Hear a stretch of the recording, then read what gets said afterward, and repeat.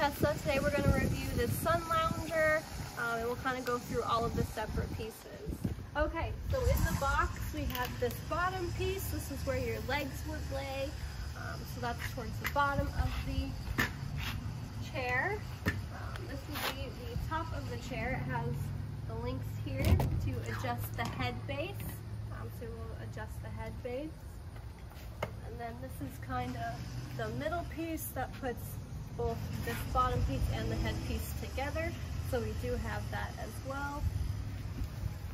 And then over here, there are two wheels that will go on the bottom base so we can wheel it around. Um, so there are the two wheels. And then there are the two handrails um, for the chair. So we'll put those on there. And then it comes with the nice blue cushion. Um, don't want to get it dirty, but we'll put this on after. And then it comes with the instruction manual and a bunch of screws. So we're gonna go ahead and put this together and check it out.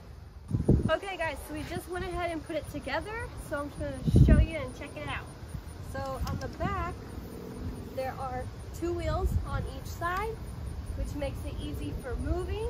Um, it also has an adjustable back, so it has five different levels as to where you put it. Um, it has a non-slip cushion, but to make it non-slip, it has a cover right here. You actually put that over the top of the chair. Slide that down, and then it is non-slip, so it will not come off. Um, it's very nice material. It was super easy to put together. It's very comfortable and stable. Just kind of lay here all day if you would like to. Very comfy. The cushion's really nice. Um, there's not any wobble to it, so it is really stable. Um, the material is durable for weather, um, so you don't have to worry about it getting torn up or anything. Overall, really great quality chair here. So you can use this for multiple scenarios. You can use it as a lounge chair by the pool, or if you're at a barbecue, you can take it, kind of lay out. Um, really any scenario, take it to a beach, anything like that. But yeah, overall really great. So thanks for watching guys.